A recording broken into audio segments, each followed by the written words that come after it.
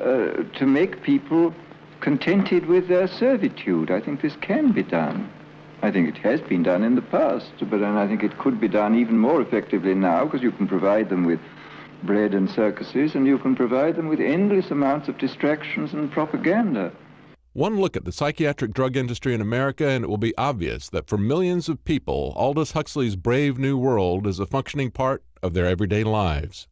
Heavily influenced by Huxley, the reality portrayed by George Lucas in THX 1138 shows every move and emotion of an ordinary man or woman is controlled and regulated pharmaceutically. Ray Kurzweil believes that you'll be able to upload your personality, your consciousness to a computer. Once there, you'll be able to do anything you want, even talk to people who are long deceased. And of course, in Ray Kurzweil's case, he thinks he's going to be able to talk to his father who died decades ago. And one of the most powerful points in the film, Robin Wright exits the hallucinogenic animation and she finds herself in the real world where people are just roaming around in this gray, grim reality like inmates in an asylum because they really only exist in an entertainment coma. And So the question the Congress presents to us is will people be willing to live in an entertainment utopia, but where they're actually enslaved by technology? You know, technology is just a tool. It can be used for good or for evil. And Eisenhower warned us about this with the military industrial complex, saying that it would take over research, that it would take over technology and use it for its own purposes. We've seen this happening as technology accelerates. It's increasingly being used for destruction and for distraction, not for production. It's being used to enslave us, not to serve us. The Congress could wake up some people about our obsession with entertainment. If only it were more entertaining. For InfoWars Nightly News, I'm David Knight. Thank you for tuning in to the InfoWars Nightly News. If you are watching us on YouTube, subscribe to the Alex Jones channel. Do it now. And then head over to prisonplanet.tv and become a subscriber there as well. You can get all sorts of content that you won't find on YouTube.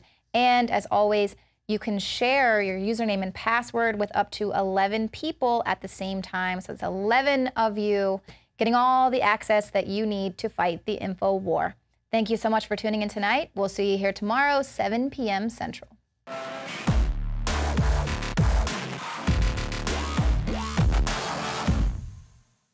City of Austin tap water versus filtered City of Austin tap water. I can like taste dirt in it. God knows what's in this. This has an aftertaste. Tastes like Austin water? Yeah, it does. Ugh. These people just sampled City of Austin tap water straight from the faucet. Next, we had them try a sample of tap water filtered through the Pro Pure G2.0 filtration system. High quality H2O. That one is better. Tastes like nothing. Yep, I know what good water tastes like. It's good water. Most tap water contains added substances like fluoride, chlorine, Monsanto's deadly pesticide, glyphosate, and many others. Studies prove that these substances are linked to an assortment of major health issues, including tooth decay, lowered IQ, and even cancer. It tastes like you're drinking out of the lake when you're drinking tap water.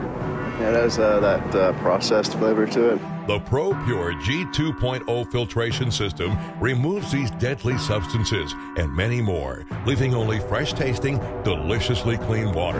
Okay, this is very tasty. It's good water. Refreshing. It's good. Go to InfoWarsStore.com today. Use promo code WATER and save 10% off your Pro Pure purchase. Again, that's InfoWarsStore.com or call 1 888 253 3139. You are watching the InfoWars Nightly News, which airs 7 p.m. Central at InfoWarsNews.com. Members can share their passcodes with up to 11 other people, and your support is helping us defend liberty worldwide.